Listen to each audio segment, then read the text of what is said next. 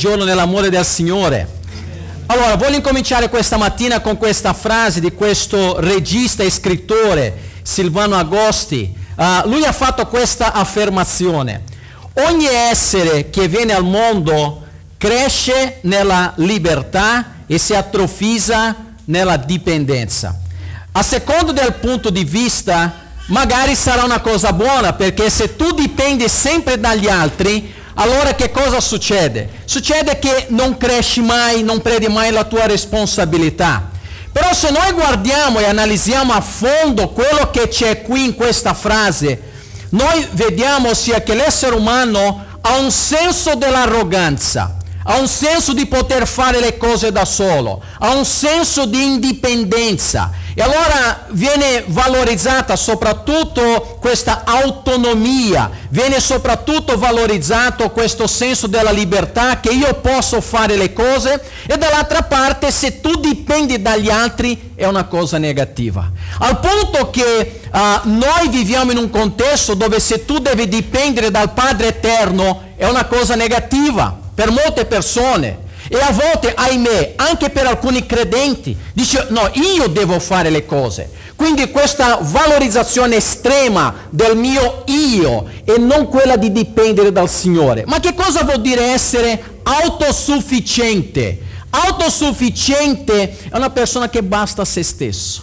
non ho bisogno di nessuno ho i miei mezzi, ho il mio denaro, ho la mia esperienza, ho la mia intelligenza e qualcosa mi dice che sicuramente in Italia, in Europa e nel mondo intero l'ambizione dell'essere umano è quella di essere sempre più indipendenti dagli altri ossia di essere sempre una persona che non, che non, ha bisogno di nessuno, perché io ho i miei mezzi finanziari, no?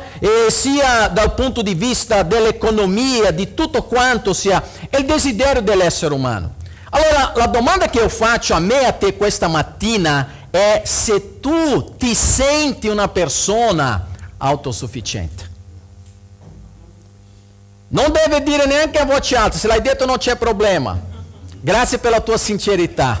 Però vorrei che tu pensassi nel tuo intimo, perché a volte noi ci pensiamo, in, ossia, noi ci comportiamo in una maniera, però affermiamo un'altra cosa. Forse noi stiamo dicendo sì, io dipendo dal Signore, però la maniera in cui io vivo, le mie scelte, le mie azioni, il mio comportamento, la mia famiglia, la maniera come io mi relaziono con gli altri esseri umani, fa dimostrare esattamente l'incontrario. Ossia che io non dipendo dal Signore. Ma questa mattina noi vogliamo leggere un brano che ci ricorda che io e te, volendo o non volendo, tu dipendi dal Signore. E dobbiamo questa mattina riconoscere che Lui è sovrano, che non c'è nessuno come Lui. L'uomo cerca di sopraffarlo, l'uomo cerca ossia di superare Dio, la persona di Dio, ma è una missione impossibile perché Lui è il Signore. Apri con me nei Salmi 104, versetto 27. Salmi 104, versetto 27. Invito sempre tutti voi di aprire la Bibbia. Incominciamo man mano, lasciare i cellulari e aprire la Bibbia perché magari, ossia, sappiamo usare l'aggeggio elettronico, ma non sappiamo neanche dove si trova uh, i libri no, della Bibbia. Quindi Salmi 104, versetto di numero 27. Salmo 104, versetto 27. Dice così la parola del nostro Signore. Avete trovato? Amen? Il Signore dice nella sua parola, tutti quanti sperano in te, perché tu dia loro il cibo a suo tempo. Tu lo dai loro ed essi lo raccolgono. Tu apri la mano e sono saziati di beni tu nascondi la faccia e sono smarriti. Tu ritiri il loro fiato e muoiono, ritornano nella loro polvere. Versetto 30. Tu mandi il tuo spirito e sono creati e tu rinnovi la faccia della terra, parola del nostro Signore. Allora questa mattina, per fare un riassunto, non abbiamo letto tutto il Salmo, però per fare un riassunto di questo salmo e per fare un riassunto del messaggio di questa mattina, confida nel Signore. Confida nel Signore perché la nostra esistenza, io chiedo a, cortesia di andare avanti nella slide, confida nel Signore perché la nostra esistenza dipende da chi? Dal Signore. Confida nel Signore. Confida nel Signore. Noi questa mattina vogliamo vedere almeno due prove che dimostrano che è così. Se tu dici no, ci penso io a modo mio, scusami, ma hai proprio sbagliato strada. Hai sbagliato palazzo, perché nel citofono non c'è il nome di questa persona. Se tu non sei padrone del mondo, io non sono padrone del mondo. E magari noi siamo cari, siamo affettuosi, siamo anche spirituali, ma quando usciamo da quella porta, adesso comando io. Comandi te, Signore, ma fuori comando io. Non è così.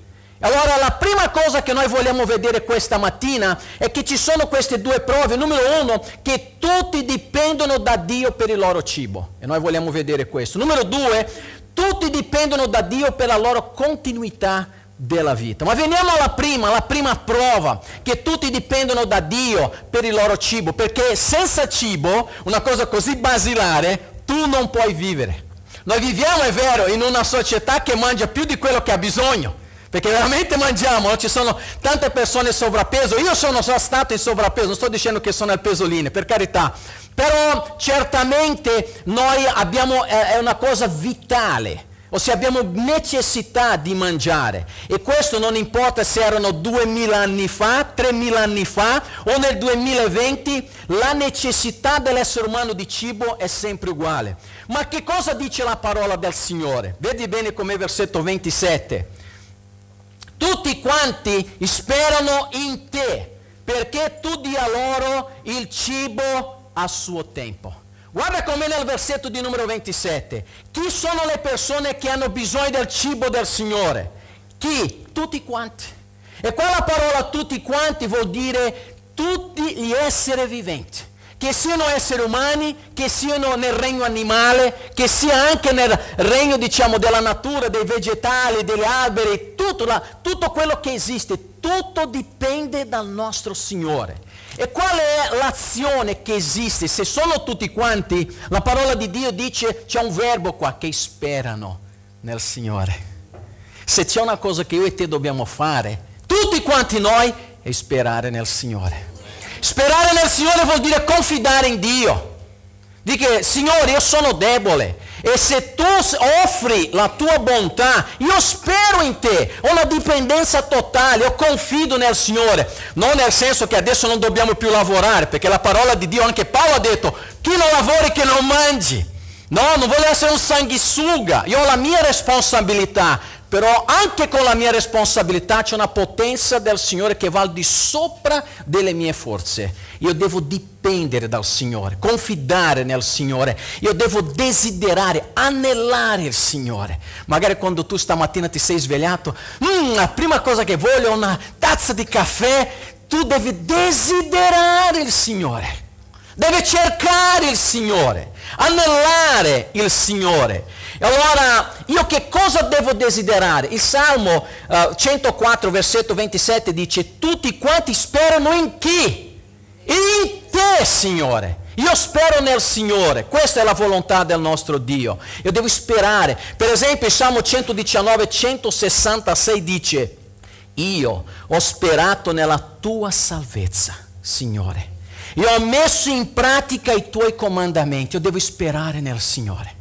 Non sperare in me stesso, io mi fortifico in Dio. E qua sia dal punto di vista, perché stiamo parlando di cibo, sia del cibo materiale, ma soprattutto per noi che siamo figli di Dio, possiamo anche fare qui un'applicazione, il mio cibo spirituale. Perché se non sono forte in Dio, magari anche il mio modo di mangiare è scontrollato, perché mangio anche più di quello che ho bisogno. O mangio le cose sbagliate perché ho l'ansietà dentro del mio cuore. Io ho bisogno di anelare, di cercare il Signore.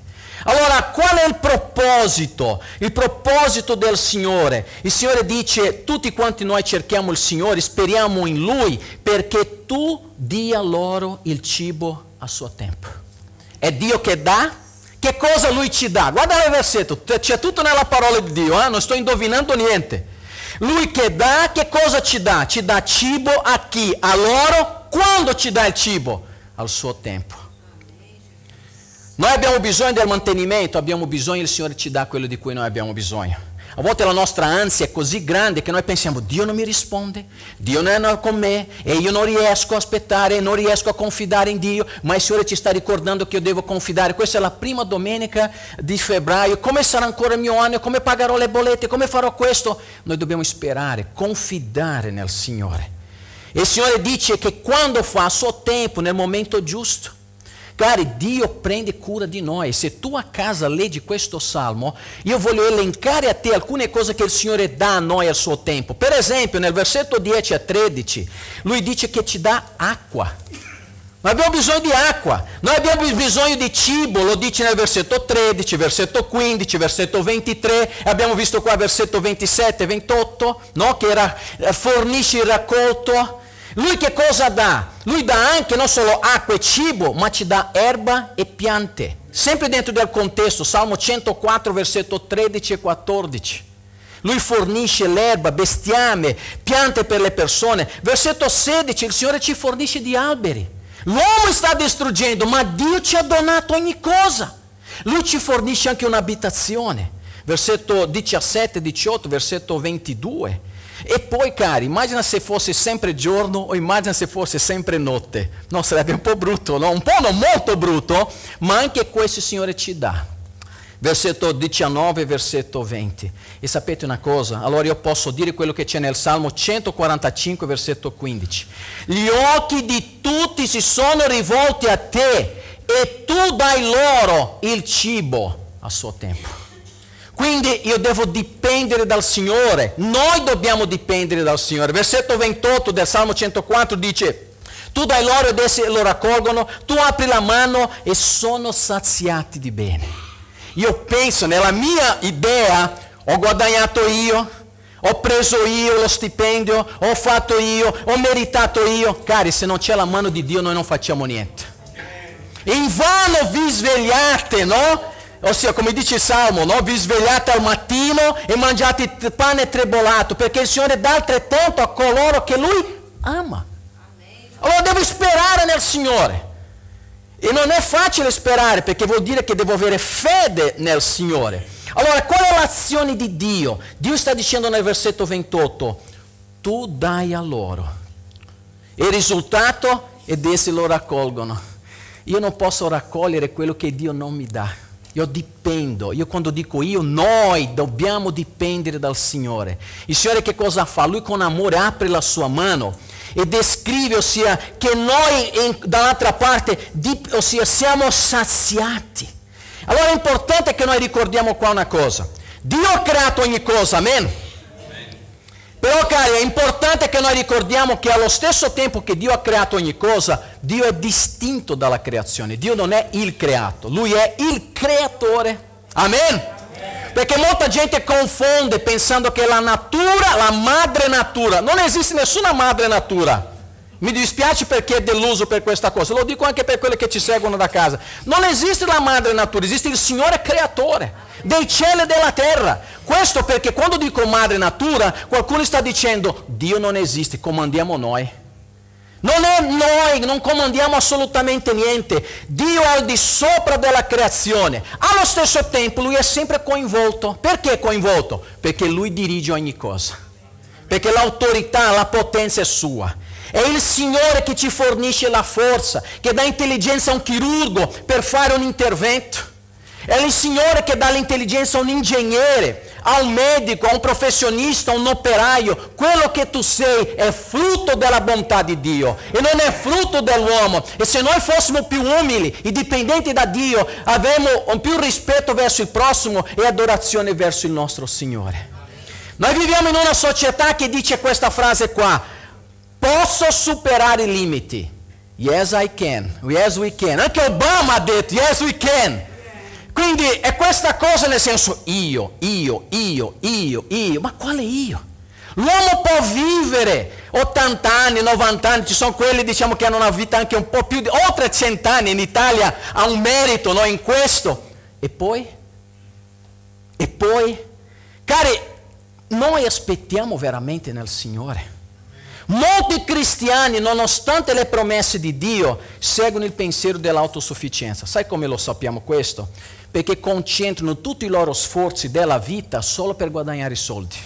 Non si pensa a parlare di Cristo, non si pensa a vivere per Cristo, non si pensa alla santificazione. Siamo diventati molti di noi materialisti. E allora noi affiniamo per non essere diversi da quelli che sono fuori, che non conoscono il Signore. Noi dobbiamo far capire alle persone che le nostre priorità, sì, hai bisogno di casa, hai bisogno molto probabilmente di una macchina, forse anche due, non lo so, di un lavoro, scuola per i tuoi figli. Il Signore sa le cose di cui noi abbiamo bisogno. Però io non devo vivere per le cose, io vivo per il Signore che mi dà le cose. Allora non possiamo invertire i cavi, se no c'è un cortocircuito. Dobbiamo ricordare che Dio ha creato ogni cosa e continua a sostenere ogni cosa che Dio provvede e la sua provvidenza dimostra la sua relazione con noi.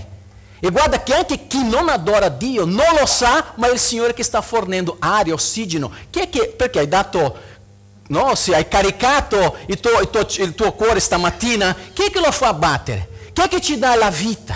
Infatti tra poco parleremo di questo. Dio apre la mano per noi. Quello che io e te siamo invitati a fare è quello che ha insegnato il Signore Gesù in Matteo 6, versetto 25, versetto 25 a 33. Guarda bene questa parola. Perciò vi dico, non siate in ansia per la vostra vita, dice il Signore Gesù, di che cosa mangerete, di cosa berrete, né per il vostro corpo, né di che vi vestirete. Non è la vita più del nutrimento e il corpo più del vestito? Guardate gli uccelli del cielo non seminano, non mietono, non raccolgono i granai e il Padre vostro celeste li nutre. Non valete voi molto più di loro? Noi non valiamo più degli uccellini che esistono. E chi di voi può con la sua preoccupazione aggiungere un'ora alla durata della sua vita? Versetto 28.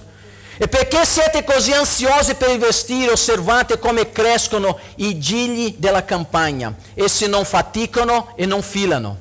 Eppure io vi dico che neanche Salomone, con tutta la sua gloria, fu vestito come uno di loro. Ora, se Dio veste in questa maniera l'erba dei campi che oggi è e domani è gettata nel forno, facciamo silenzio per favore, non farà molto di più per voi, o gente di poca fede? Versetto 31, guarda qua quello che dice il Signore per noi. Non siate dunque in ansia dicendo che mangeremo, che berremo, di che cosa ci vestiremo, perché sono i pagani, sono i pagani che ricercano tutte queste cose. Ma il Padre vostro celeste sa che avete bisogno di tutte queste cose. Vogliamo dire il Salmo, ah no il Salmo, ma il versetto 33 Insieme cercate prima il regno di Dio e la giustizia del Signore e tutte queste cose vi saranno date in più. Rivolgiti al Signore. Nella preghiera che il Signore Gesù ha insegnato ai discepoli e anche a noi, Padre nostro che sei nei cieli, santificato è il tuo nome, venga il tuo regno, sia fatta la tua volontà, sia in cielo e in terra, dacci vai verso il Signore. Dipende dal Signore. La seconda prova che noi abbiamo è che tutti dipendono da Dio per la continuità della vita. Non solo per il cibo per oggi, ma anche per la nostra esistenza, per il dono della vita. Guarda come versetto 29. Tu nascondi la faccia e sono smarriti. Tu ritiri il loro fiato e muoiono, ritornano nella loro polvere. Oggi se c'è una cosa come sempre c'è stato, ma oggi con la scienza, no? con la conoscenza, uh, sia nel campo della biologia, della genetica uh, o della medicina in generale, l'essere umano vuole vivere di più.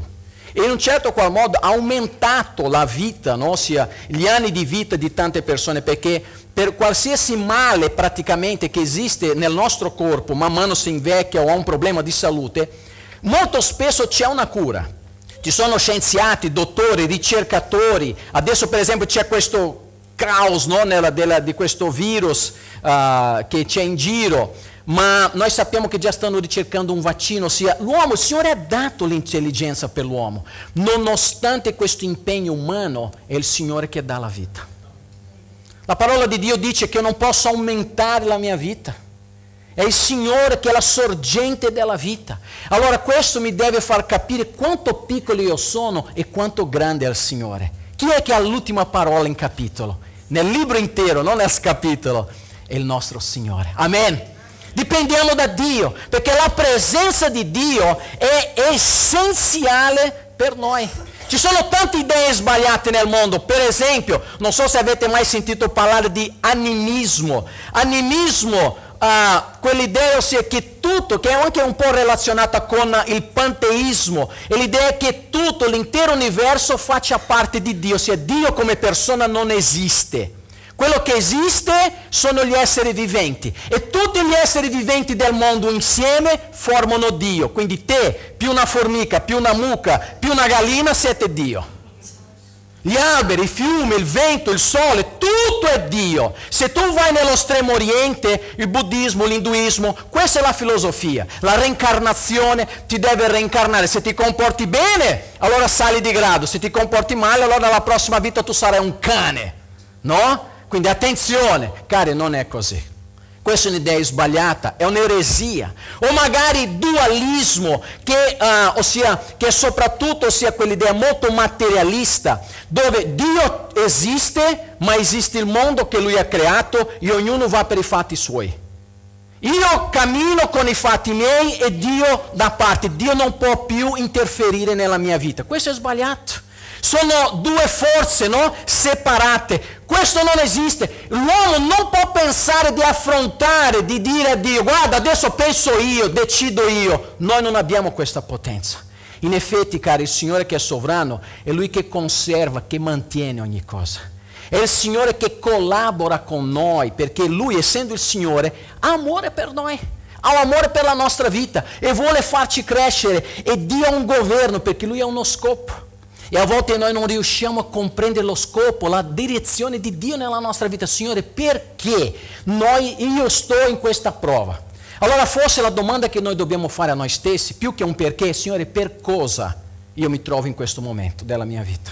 Qual è il tuo scopo? Perché tu sei il Signore.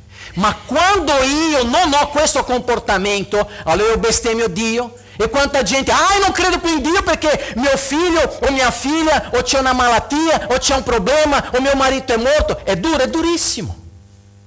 Perché da quando noi abbiamo girato le spalle verso Dio, abbiamo detto adesso ci penso io. E guarda che cosa abbiamo combinato. Solo porcheria. Il mondo vive male. Il Signore ha uno scopo, Lui ha l'ultima parola. Voglia tu o meno, Lui ha l'ultima parola. In Ebrei, capitolo 1, dice Egli, parlando di Cristo, e che allo splendore della sua gloria e impronta della sua essenza, guarda bene quello che dice la parola di Dio, che sostiene tutte le cose con la parola della sua potenza. È Lui che sostiene, se Dio non sostiene più, cade, crolla, si spezza tutto. Atti 17, versetto 28, l'Apostolo Paolo ha fatto questa affermazione. Difatti in Lui, in Cristo, che cosa facciamo? Viviamo, ci muoviamo e siamo. Come anche alcuni vostri poeti, lui stava parlando ai greci, hanno detto, poiché siamo anche sua discendenza. Noi dipendiamo da Dio. Il versetto 29 di Salmo 104 dice, tu nascondi la faccia e sono smarriti. Sai quando perde il navigatore? Ha perso il segnale. Ah, non c'è campo! E viene quello, adesso come faccio? Non ho la direzione. È così se tu non sai la direzione di Dio. Ti senti perduto. Tu ritiri il loro fiato e muoiono, ritornano nella loro polvere. Allora l'azione di Dio qual è? Se Dio si nasconde, tutto cessa di esistere. Siamo smarriti e muoiono, questa è la parola del Signore. E l'enfasi, sai qual è? L'uomo che voleva comandare, dice la parola di Dio, che ritornano polvere. L'uomo voleva essere uguale a Dio e ha ceduto alla tentazione, è caduto nel peccato il Signore che cosa ha detto a Adamo? Tu polvere sei e polvere tornerai a essere. L'uomo voleva salire nel pedestale e il Signore ha detto no, no, no, no, no, nel pedestale ci sto solo io, perché io sono il Signore. Tu adesso devi scendere, tu devi tornare a essere polvere. E noi viviamo come se non dovessimo mai morire, anche sapendo che esiste la morte. Perché il Signore ci ha un, ha un proposito di vita eterna. Ma finché io non ho riconosciuto Gesù Cristo come l'unico sufficiente salvatore della mia vita, che Lui è morto e risorto e ci dà la vita eterna, io sono condannato e vivo prigioniero dentro di me stesso. Perché polvere sono e polvere tornerò a essere. Deuteronomio capitolo 32, versetto 39. Molta gente non voleva che questo versetto ci fosse nella Bibbia, ma la Bibbia dice, ora vedete che io sono, io solo, sono Dio e che non vi è un altro Dio accanto a me, ossia come Lui non c'è nessuno. Io faccio morire e faccio vivere, ferisco e risano e nessuno può liberarsi o liberare dalla mia mano, perché Lui è il Signore. Questa chiesa appartiene al Signore, la tua vita appartiene al Signore, la tua macchina appartiene al Signore, il tuo lavoro appartiene al Signore. E quando noi abbiamo questa relazione con Dio, se succede qualcosa di grave, Signore, pensaci tu, è tuo. Tu hai un sollievo nella tua vita, perché noi dipendiamo dal Signore. Però, cari, il fatto che Dio sia responsabile di tutto non vuol dire che tu non sei responsabile.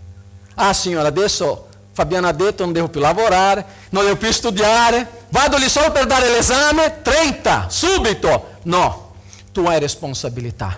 Tu sei stato creato all'immagine e somiglianza di Dio. Dio ha dato a noi la responsabilità di moltiplicarci, di relazionarci con gli altri esseri umani, di governare il creato e se le cose non vanno bene, se c'è un conflitto con Dio, se c'è un conflitto con il creato, eh, se c'è un conflitto uh, con l'altro essere umano è perché noi vogliamo fare quello che tocca a Dio e non stiamo facendo quello che tocca a noi. Quindi abbiamo veramente sbagliato e quindi questi sono i risultati per noi questa mattina, quando noi non confidiamo nel Signore. Però in sostanza questa mattina noi abbiamo visto che abbiamo bisogno di confidare nel Signore. Perché se non confidi nel Signore, o se stai dicendo che la tua, la tua, vita non dipende da Lui, ma la nostra esistenza dipende dal Signore. Ti ricordi quali erano le due prove che dimostrano che noi dipendiamo da Dio? Numero uno, Due prove che noi dipendiamo da Dio. Uno, tutti dipendono da Dio per il loro cibo. Tutti dipendono da Dio per la loro continuità della vita. Adesso faccio questo che così vivo di più. Sì, il Signore ci ha dato intelligenza, responsabilità. Non è che adesso salgo nel grattacielo di Rimini e mi butto perché il Signore ha l'ultima parola. Non l'ha fatto Gesù, lo deve fare te? No. Io devo riconoscere che Lui è il Signore. Guarda bene il versetto 1 di questo salmo. Il versetto 1 dice, anima mia, benedici il Signore. Signore, tu sei mio Dio, tu sei veramente grande. Io devo, se tu vuoi vivere come Dio vuole, incominci ad adorare il Signore. Perché la maniera come incomincia questo salmo, ossia è la maniera in cui anche si conclude questo salmo. Guarda con me nel versetto 31. Duri per sempre la gloria del Signore. Gioisca il Signore delle sue opere. Egli guarda la terra ed essa trema. Egli tocca i monti ed essi fumano. Che cosa facciamo noi? Versetto 33. Canterò al Signore finché avrò vita. Salmeggerò il mio Dio finché esisterò. Possa la mia meditazione essergli gradita. Io esulterò nel Signore. Spariscono i peccatori dalla terra e gli empi non siano più. Anima mia, benedice il Signore. Alleluia. Forse tu guardi il mondo e dici c'è ingiustizia, non c'è equità, non c'è amore, c'è egoismo. Signore, tu non vedi questo? La parola di Dio dice che ogni cosa appartiene al Signore. La parola di Dio dice che al suo tempo Dio metterà la sua mano e farà giustizia per ogni cosa. Io e te dobbiamo confidare nel Signore.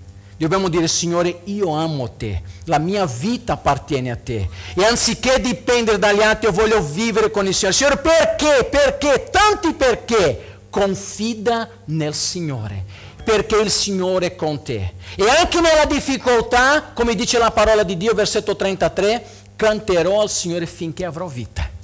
Io canto a te, Signore, io lodo il Signore, perché io so che dipendo da te, senza di te io non sono, io non esisto. Anzi, l'unico che esiste è Dio, noi, io e te, io subsisto in Dio, dipendo da Dio. Se Dio non c'è, non ci saresti neanche tu ma perché c'è il Signore, la sua grazia, il suo amore dato per noi. Vuoi vivere con il Signore? Con intensità. Signore, io prego questa mattina per la vita di tutti i miei cari fratelli e anche le persone che ci seguono da casa affinché nel nome di Gesù Cristo possiamo rinnovare la nostra fede in te, possiamo dipendere dal Signore.